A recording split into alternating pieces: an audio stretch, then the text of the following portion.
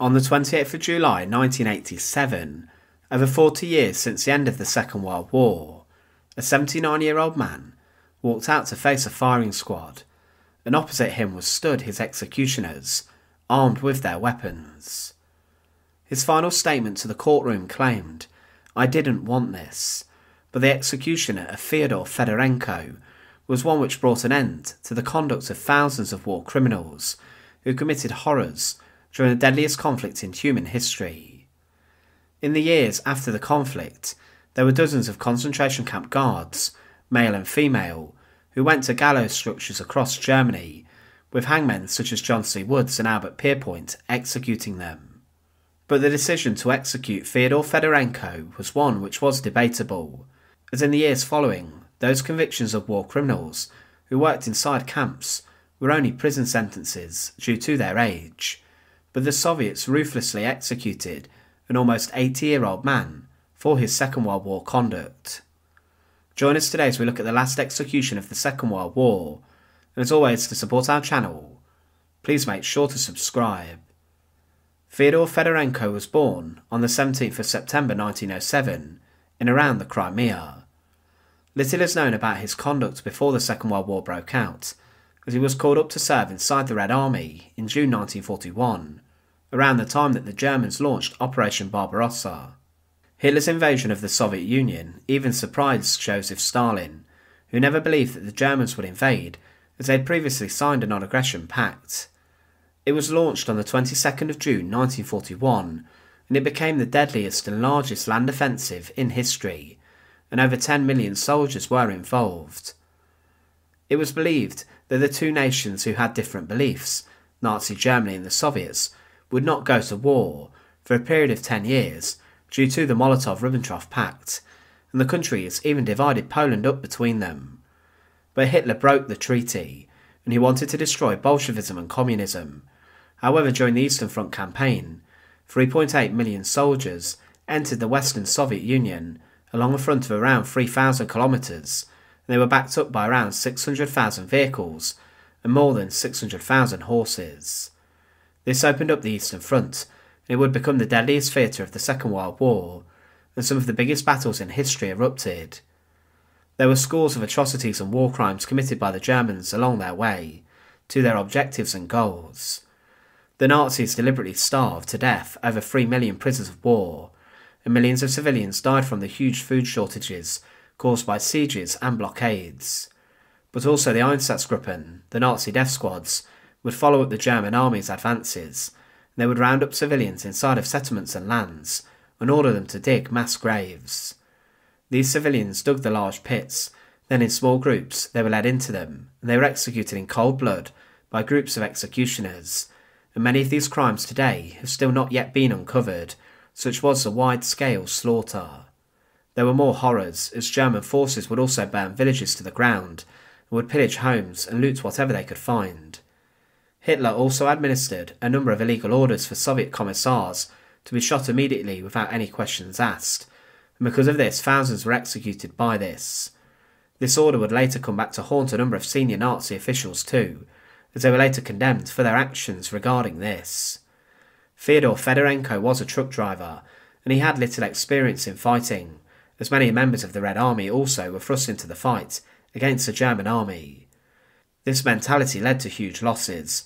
Within a couple of weeks, Fedorenko was encircled by the German army, and he managed to escape the first time, but was then captured by the enemy, and he was sent on to different camps before he arrived at the Chelm prison of war camp in Poland. At this specific prison of war camp, he was recruited for military training and to serve his enemies as an auxiliary policeman, and Fedorenko was sent to the Trawniki concentration camp to learn how to become a Trawniki man, who acted as an executioner inside of the camps. These were men who were considered collaborators, and they operated the gas chambers, and they drove prisoners inside of them, inside the extermination centres, and also they served as firing squads. It was said on one instance that that German soldiers had to take cover to avoid being hit. They rampaged throughout different captured sites and cities and conducted mass slaughter.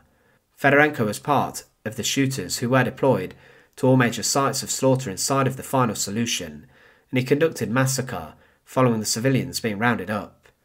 Civilians were forced into huge pits where they were then slaughtered.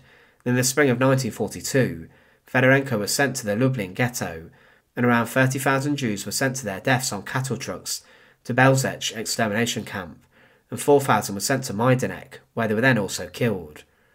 Fedorenko stated that he was given a rifle, but he never fired this, and he was then sent to the Warsaw ghetto with a battalion of around 80 to 100 executioners before he was then sent to Treblinka. Inside here, he also operated the gas chambers, and from September 1942 to August 1943, he was in charge of a 200 strong ex Soviet soldier battalion who forced prisoners at Treblinka to undress, and these were then driven into the gas chambers, with Fedorenko leading this. His men beat and hurt prisoners on the way to the gas chambers. It was said in a report regarding his activities that Fedorenko had the rank of an SS Oberwachtmann. He was an assistant to the commander of the 1st Platoon of Guards Company in the Treblinka death camp. He came together with me from the city of Warsaw to the Treblinka death camp. He took part in the shootings of citizens of Jewish nationality during the unloading of trains, in the undressing places, to the gas chambers, and to the infirmary. At the end of 1943, he left for Danzig as part of a company of guards. I did not meet him again and do not know where he is now. But at the end of the Second World War, he knew that he would be a wanted and hunted war criminal, as the Soviets did search for him, and he left his wife and two children who stayed in the Soviet Union, and he lived as a war refugee in West Germany. He then managed to emigrate to America in 1949 and was later granted permanent residency working inside of a brass factory. He lived a quiet life inside of America, but was identified as a possible war criminal, and survivors of Treblinka had identified him as a guard from photographs and documents. He was then included in a list of war criminals, but Fedorenko then moved to Miami Beach in Florida.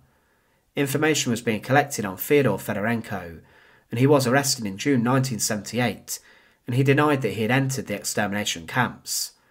He said that he'd once been a guard inside the guard towers, and that I saw how they were loading up dead people, loading them onto stretchers, and they were loading them in a hole.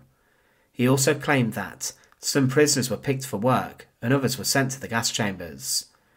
Fedorenko claimed he'd been forced to work at Treblinka, that he mistreated no one. But six survivors of the camp testified that he had in fact committed many horrors inside of the camp, including beating and shooting prisoners. One man claimed he saw Fedorenko whip and shoot prisoners, and another claimed he was whipped by him, and these witnesses all testified, saying they saw him take the lives of others. One judge claimed that these witnesses were unreliable, and he ruled that Fedorenko had actually been a victim of Nazi aggression, and he was allowed to keep his US citizenship. However, in December 1984, Fedorenko became the first Nazi war criminal who was deported from America to the Soviet Union. It was claimed that he spent weeks a free man inside of the Soviet Union, drinking in his hometown, until he was then, in January 1985, arrested by the KGB. His family disowned him during this Soviet trial, and he spent a year in prison before he stood trial in the Crimean Regional Court. This trial began on the 10th of June 1986, and every day the courtroom was filled with around 500 people who wanted to witness the proceedings.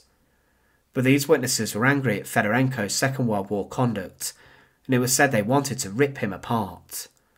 Witnesses testified against him again, and he claimed that he had not partaken in any violent actions except two executions, which he stated were justified.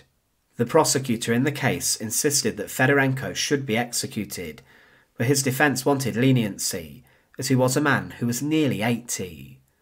The court stated that when Fedorenko was in Treblinka, that around 800,000 people were killed, and his nine day trial ended when he was sentenced to death on the 19th of June 1986. He lost all of his belongings, and when the verdict was announced, there was an applause in the courtroom. He told the courtroom that, I did not want this, as he wept, and then within six weeks he would be executed. The method of execution he faced was firing squad, and this would have been performed inside of a Soviet prison or an execution chamber. On the 28th of July 1987, Feodor Fedorenko was executed near to where he was convicted by a Soviet firing squad at the age of 79. Little accounts survive about the specifics of his execution, but this made Fedorenko the last person executed due to their conduct during the Second World War. The conflict had been over 40 years, but the Soviets still deemed it necessary to execute a man who had been an instrumental cog in the slaughter of thousands inside of the death camps. Fedorenko was deemed as a dangerous traitor, but he is remembered today as the last man executed for his actions during the Second World War. Thanks for watching. To support our channel, please make sure to subscribe, and once again, thank you so much for watching.